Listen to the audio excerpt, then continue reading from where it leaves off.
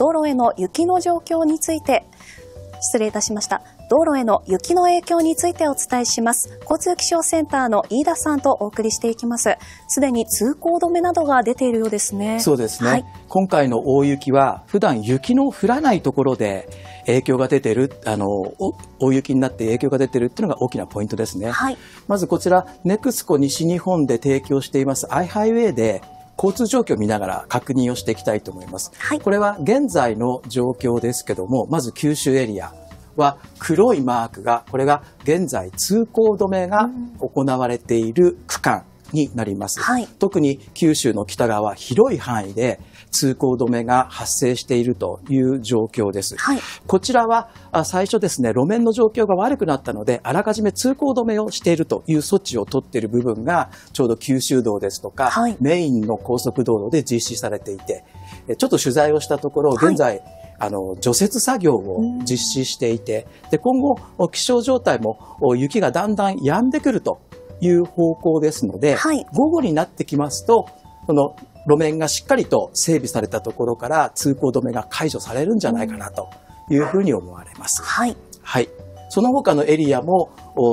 除雪作業や、あとは凍結防止剤の散布の作業をしているところが、あの、広いエリアであると思いますので、どうぞ追い越しをせずに、無理な走行せずにですね、あの、走行していただければというふうに思います。はい。ちょっと東側にちょっと移ってみましょうか。中国エリアですね。こちらも中国道で通行止めが発生していますが、はい、こちらは瀬戸内側の山陽道等を利用して迂回をしていただくっていうのは一つの方法かなというふうに思います。はい、山陰エリアはこちらはもう雪があたくさん降っていますので、うん、今後通行止めにならないように、はい、事故があのひとたび起きてしまうとすぐに通行止めというような状況も考えられますので、うん、冬装備しっかりとしていただいて不要不急のお出かけは避けるというのがポイントになるかと思います。は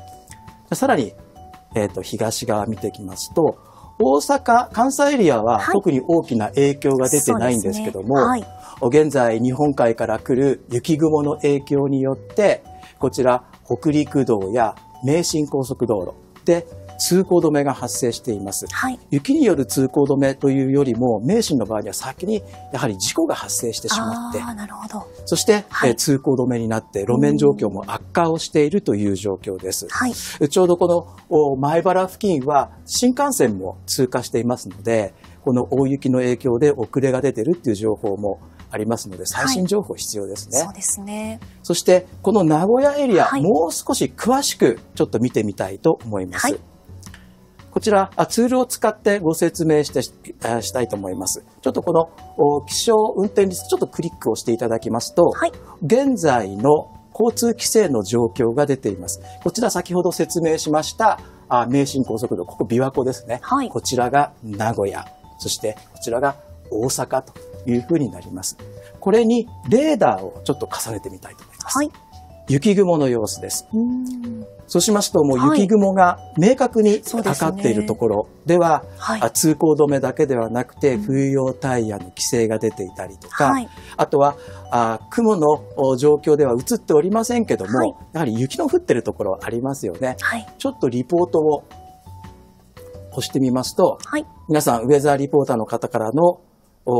リポートによりますと、この白いマークが雪がもう降り始めているところ、黒がだんだんと強くなり始めているところというところの分布状況になっています。はい、そうしますと通行止めのところは雪が降っていて、えっ、ー、と、大阪エリアですね、関西エリアはまだ天気が大きな崩れのところがないという状況です。はい、そうしますと、この名神高速道路が通行止めになっていると、はい、この迂回路として考えられるのは、例えば関東方面から来た、あ来る場合は、あ東名高速道路を通って、伊勢湾岸道路を通って、そしてえこちら新名神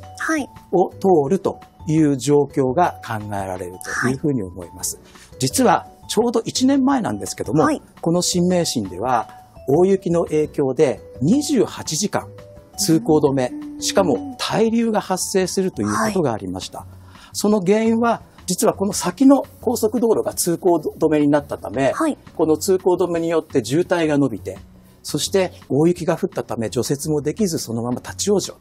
いうことになってしまったんですね。はい、その教訓を生かして今回この名神高速道路等では対策が取られるということになります。はい。えっ、ー、と、現在、えこれからの気象状況をちょっと見てみましょう。こちらクリックお願いいたします。はい。ち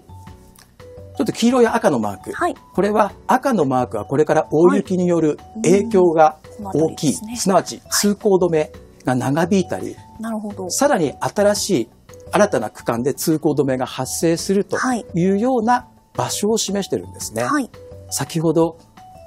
説明いたしましたこの示し、はい、赤いマーク出てますね。出てます。これからこの雪雲が皆さんからリポートいただいてますけど雪雲が少しずつ発達しながら南の方に下がってくるという傾向になりますから、これから午後、そして夜になりますと気温も下がってきますから、ね、路面も凍結をするということが考えられます。そうすると事前に通行止めを行ったりする場合もありますので、はい、最新の交通情報を確認していただければというふうに思います。はい、またもう一つですね、名阪国道っていう国道も実はここにあり、そして国道1号線も並行して走ってるんですけども、はい、やはり雪の影響で通行止めになる可能性がありますので、これからお出かけを考えている方、できるんであれば、不要不急のお出かけを避けるということと、あとはどうしてもという場合もああると思うんですよね。そうですね。まあそういった時には十分な装備を持つということを心がけていただければと思います。はい、最後にちょっと装備まとめてみたいと思います。はい、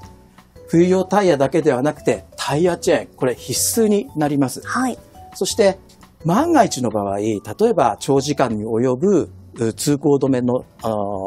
があったりとか、もしくは待たなければいけない、はい、もしくは滞留があった場合には、やはり食べ物、非常食ですね。食べ物や飲み物。あとは、もう一つ、寒さをしのぐための、例えばカイロですとか、はい、こういったものが必要になります。あと、忘れがちなのはですね、ここに書かせていただきましたけど、はい、燃料。はい、これは出発前にですね、満タンにしてお出かけしていただければと思います。はい、今後またさらに通行止めが広がる可能性、特にえー、名古屋から大阪にかけてのメインの、あの大動脈の部分ですね。はい、そこで、えー、通行止めが発生する恐れ、場合によっては、あのー、こういったですね、はい、はい、ちょうど1年前リポートいただきました、ね。はい、流ということで、えっ、ー、と、この中に巻き込まれてしまうということもあるかもしれません。そうですね。最悪のことを想定して、あの万が一お出かけの場合には準備を万端にしていただければと思います。はい、今後も最新の情報を確認しながらお過ごしください。はい、道路への雪の影響をお伝えいたしました。また最新の気象情報につきましては、ウェザーニュースのアプリからご覧いただけます。